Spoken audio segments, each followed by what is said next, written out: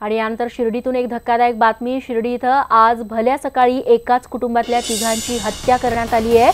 यामधले दोन जण अत्यवस्थ असून त्यांना संस्थान रुग्णालयात दाखल करण्यात आले आज सकाळी साडेसहा वाजण्याच्या सुमारास निमगाव शिवारामध्ये मंगेश कातोरे यांच्या वस्तीवरती राहणाऱ्या खा- ठाकूर कुटुंबियांची हत्या झालेली आहे. हरीश दिमोटे आमचे प्रतिनिधी आता आपल्यासोबत आहेत. हरीश काय तपशील मिळत आहेत पोलिसांचा तपास कुठवर आलाय?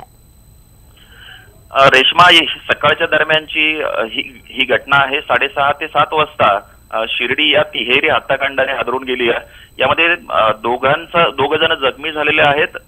नामदेव ठाकूर दगुबाई ठाकूर हे जे वयोवृद्ध आहेत यांची. गळा चिरून हत्या करण्यात आली आहे. तर खुशी ठाकूर ही सोळा वर्षाची जी मुलगी आहे हिची देखील हत्या झाली आहे. दोन जण जखमी आहेत. यांना संस्थांच्या रुग्णालयात दाखल केलेत अ, ठाकूर कुटुंबियांच्या शेजारीच राहणारा अर्जुन पनाळे हा जो आरोपी आहे यांचे आणि ठाकूर कुटुंबीय यांचे सततचे जे वाद होते हे सुरू होते.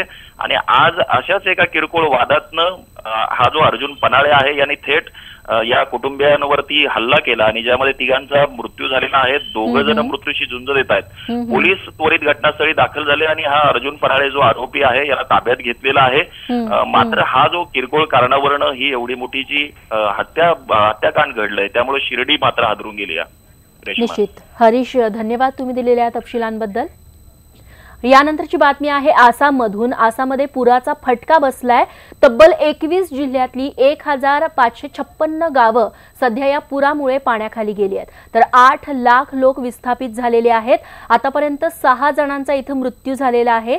गेल्या चोवीस तासांपासून गोलघाट दिमा हसाओ या जिल्ह्यांमध्ये मुसळधार पावसानं सहा जणांचा मृत्यू झाल्याची माहिती समोर येते सोबतच ब्रह्मपुत्रा नदीला आलेल्या पुरामुळे नदीकाठची गावं देखील आता पाण्याखाली गेलेली आहेत.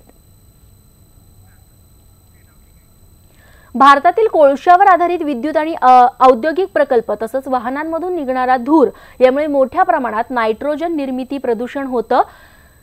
मुंबईमध्ये माहुल तुर्भे इथल्या तेलशुद्धीकरण कारखाने खतांचे कारखाने यामुळे मुंबईकरांना हे प्रदूषण अधिक सहन करावं लागतंय. त्यामुळे मुंबईत सर्वाधिक नायट्रोजन प्रदूषण या भागात आहे. असं ग्रीनपीस संस्थेतर्फे करण्यात आलेल्या सर्वेक्षणातून समोर आलंय.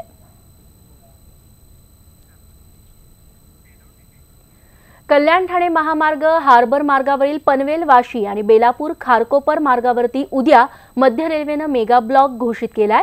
पश्चिम रेल्वेतर्फे देखील मरीन लाईन्स आणि माहीम स्थानकादरम्यान ब्लॉक घेण्यात येणार आहे. यामुळे तीन मार्गांवरच्या लोकल सुमारे वीस मिनिटं उशिरानं धावणार आहेत.